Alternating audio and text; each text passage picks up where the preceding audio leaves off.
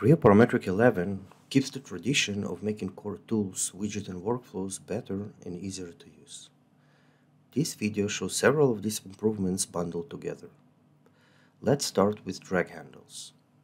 In Creo 6, we improved their appearance and visibility on screen, but we kept most of the existing handle types and their functions as before, even though we updated how they look. In Creo 11, we build on our previous work in a significant way.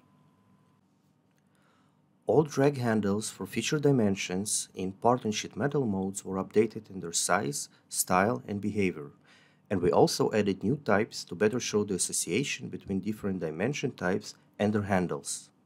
But that's not all. As you can see, some drag handle types now have 3D projections, whereas previously all handles were displayed flat to screen. They are projected either on virtual planes, like the new angular handle, or on an actual geometry, like the section or the bend position handles in the example of this flat feature. The purpose of these projections is to assist with various aspects. First, to give more clarity on what the handle does, which is especially useful in complex features with many handles on screen at once. Secondly, to minimize clutter and ensure that only the relevant handles for a specific camera orientation are fully displayed, while the ones that are not useful are not shown or shown with less visibility. But that's not just that.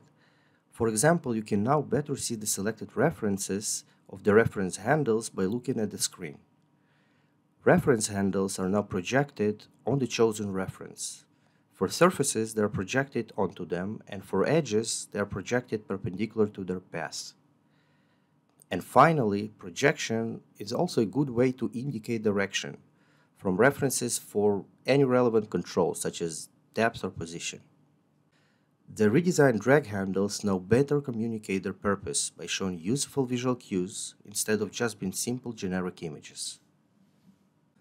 Next, Let's take a look at some improvements in the Creo trees.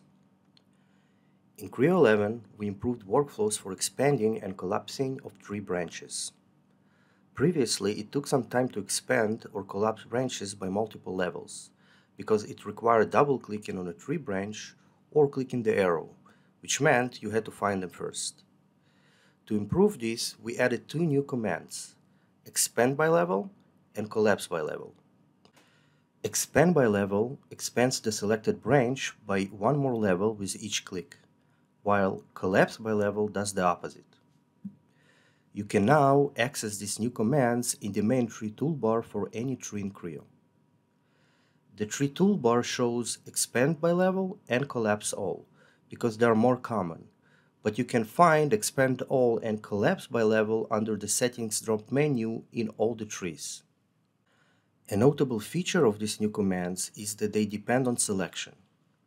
This means that they will act on any selected tree node, but if nothing is selected, the action will affect the whole tree instead, which makes it handy to gradually expand or collapse the whole tree, or by contrast, any selected branches.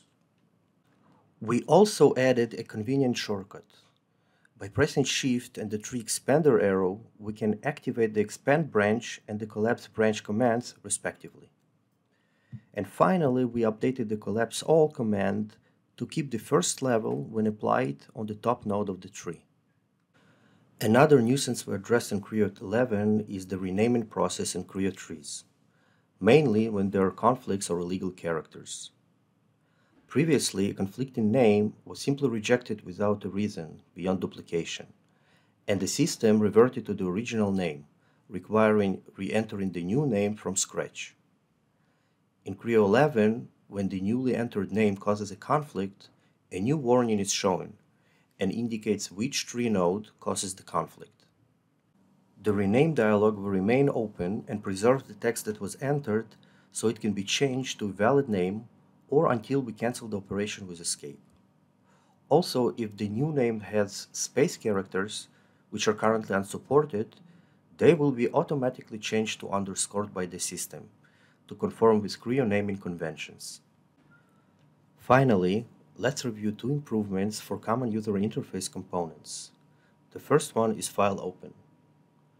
Previously, the sorting of files in the File Open dialog was different from what we are used to in Microsoft Windows environments.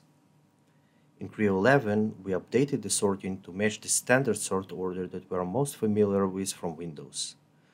This means that if you sort file names alphabetically, the list will start with file names that have special characters and numbers, followed by those that have letters from the alphabet without separating uppercase and lowercase characters.